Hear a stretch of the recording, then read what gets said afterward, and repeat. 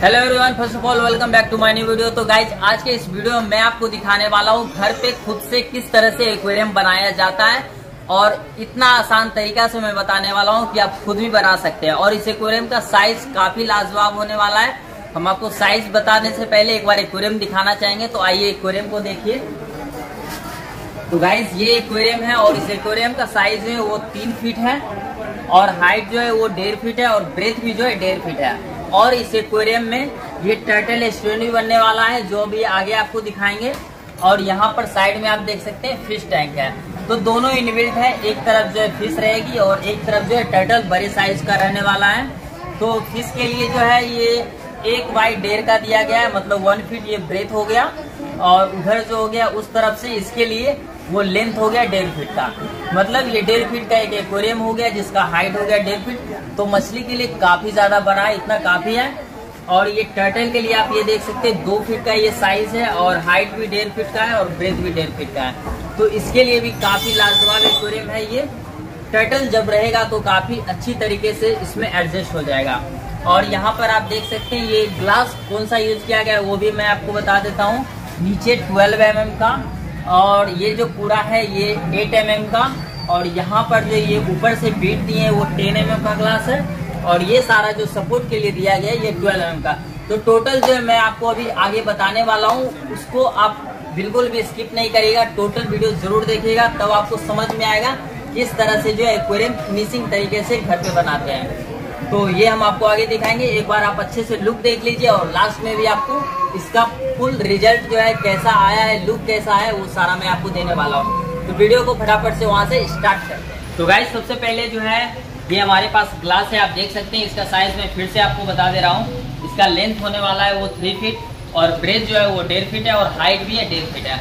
और इसमें आप देख ही चुके हैं कि ये दो फीट में जो है वो टर्टल के लिए बना है और स्लाइड स्लाइडर दिए हैं, सीढ़ी दिए हैं, किस तरह से जो वो चढ़ता है और एक फीट में जो होने वाला है वो फ़िश के लिए है। तो फटाफट से जो है पहले एक्वेरियम को बनाते हैं नॉर्मली उसके बाद टर्टल वाला ऐड करेंगे, बीच में पार्टीशन देंगे और भी आगे का प्रोसेस हम दिखाते रहेंगे। तो वीडियो को कंटिन्यू देखते रहें, बिल्कुल भी स्किप ना करें, क्योंकि स्किप अगर आप करेंगे तो आप बिल्कुल भी समझ नहीं पाएँगे। आप लोगों ने बहुत ज़्यादा डिमांड किया था कि एक्वेरियम बनाने का प्रोसेस दिखाइए। तो पूरा प्रोसेस आज मैं आपको दिखा रहा हूँ तो बिल्कुल स्किप ना करें। तो फटाफट से जो है, इसको बनाना स्टार्ट करते हैं। तो आप देख सकते हैं यहाँ पर, इस तरह से कटिंग यहाँ पे एक ग्लास है हमारे पास, और ये साइडर है। ये दो साइडर है हमारे पास, ठीक है? और बेस जो है, वो इधर है हमारे पास। ठीक है? तो यहाँ पे बनाने वाले हैं हम। तो फटाफट से जो है, इसमें गम लगाएँगे, उसके बाद फिर इसमें गम लगाएँगे दोनों साइड में, और इसमें भी दोनों साइड में लगाएँगे। ठीक है? उसके बाद आगे प्रोसेस आप देखते रहिए कंटिन्यू हम किस तरह से करते हैं, क्योंकि बीच बीच में हम आपसे बात नहीं कर पाएँगे। तो क्लियरली अभी पहले बता दिया हूँ। उसके बाद आप थोड़ा सा देखिए, फिर आगे जो है बीच बीच में कुछ कुछ बोलते रहेंगे, आप समझते रहेगा तो स्टार्ट करते हैं। तो गाइज़ सबसे पहले जो है सारे कॉर्नर में लगा देने गम जैसा कि आप यहाँ पे देख सकते हैं। इससे स्ट्रेंथ अच्छा मिलता है। तो फटाफट से जो यहाँ पे लगा रहे हैं।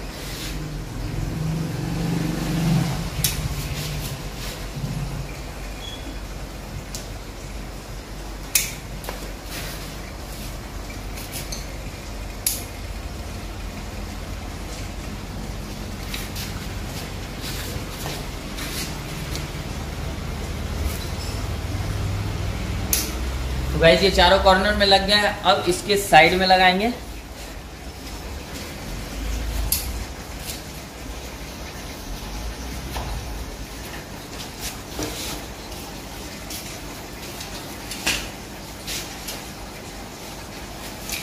और जस्ट इसके साइड में भी लगा दे रहे हैं।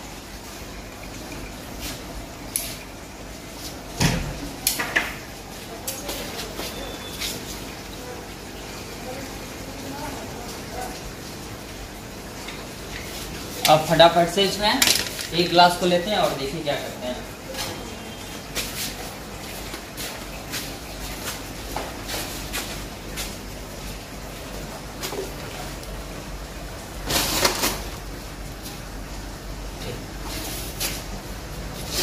तो गाइज़ आप यहाँ पे देख सकते हैं, ये इस एज को जो है इससे ऐड कर दिए हैं। अब इसके बाद जो है ये साइड वाला ऐड होगा। तो फ़र्स्ट में आप यहाँ पे देख सकते हैं, इस तरह से ग्लास लगा दिए हैं।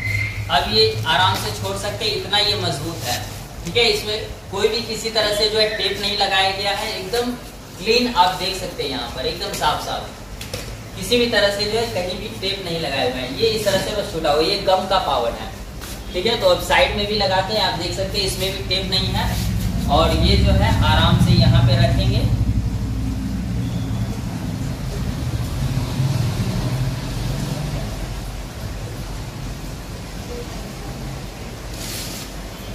और इसे छोड़ देंगे।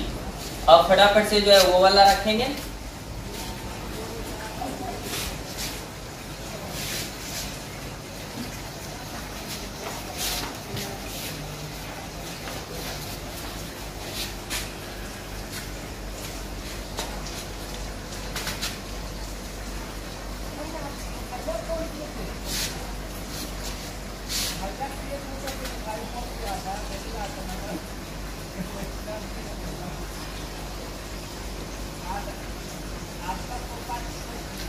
गाइज़ आप देख सकते हैं सिंपली जो है एक्वेरियम रेडी हो चुका है। फटाफट से जो है, इसको साइड से पेस्टिंग करते हैं और फिर आगे का प्रोसेस आपको दिखाते हैं, किस तरह से जो है आगे बनेगा। तो आप देख सकते हैं, किसी भी तरह से कोई सहारा नहीं दिया गया, एकदम क्लीन है। आप देख सकते हैं, किसी भी प्रकार का टेपिंग नहीं किया गया है। ये नॉर्मली इस तरह से रेडी हो चुका है। और फटाफट से जो है, इसको फिनिशिंग टच देते हैं और फिर आगे का प्रोसेस आपको दिखाते हैं, किस तरह से जो है एक्वेरियम में हमारा लुक आता है। ठीक है? तो वीडियो में बने रहें और आगे देखिए।